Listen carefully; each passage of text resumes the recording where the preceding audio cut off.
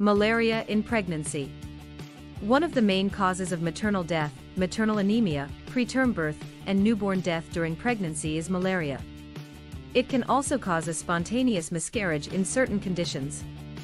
Malaria, what is it? Malaria is a disease caused by infected mosquitoes. Plasmodium falciparum, Plasmodium vivax, Plasmodium ovale, and Plasmodium malariae Parasites spread through the bite of an infected female Anopheles are the cause of this feverish sickness.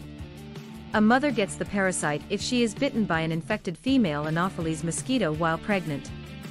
The parasites then multiply in the mother's blood, infecting the red blood cells, and if untreated, eventually result in the death of the fetus and the expecting mother.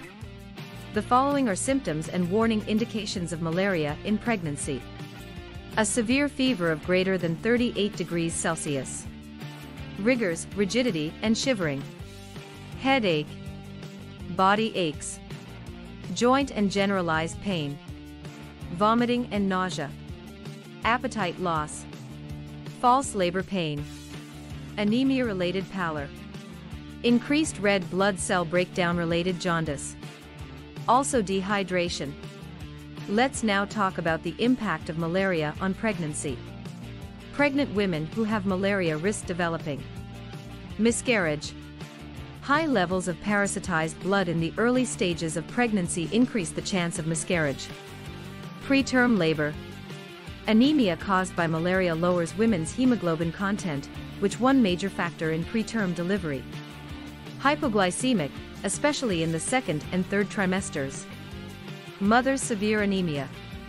Anemia is brought on by malaria, which causes the breakdown of parasitized red blood cells.